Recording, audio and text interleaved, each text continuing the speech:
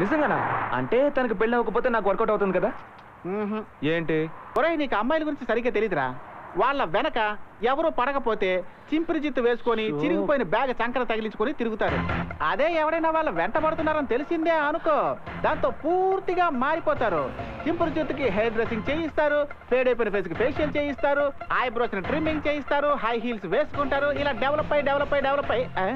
ఒరే Kalyan Kalyan. Sorry hi ఏ ఆగాగు ఆగు. Just wait just wait relax two minutes two minutes నేను చెప్పాల్సింది చెప్పేసి బయటికి వెళ్ళిపోతాను ఓకే ఇప్పుడు నీకేం కావాలి? నాకు విషయం తెలియాలి. వాట్ ఆ, ఇప్పుడు నేను అడిగే మాటకి నీ కోపం రావచ్చు బట్ నేను అడగకుండా ఉండలేకపోతున్నాను.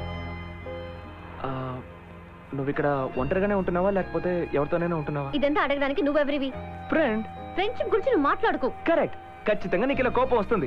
జరిగింది నేనే మర్చిపోలేకపోతున్నాను. నువ్వెలా మర్చిపోతావు?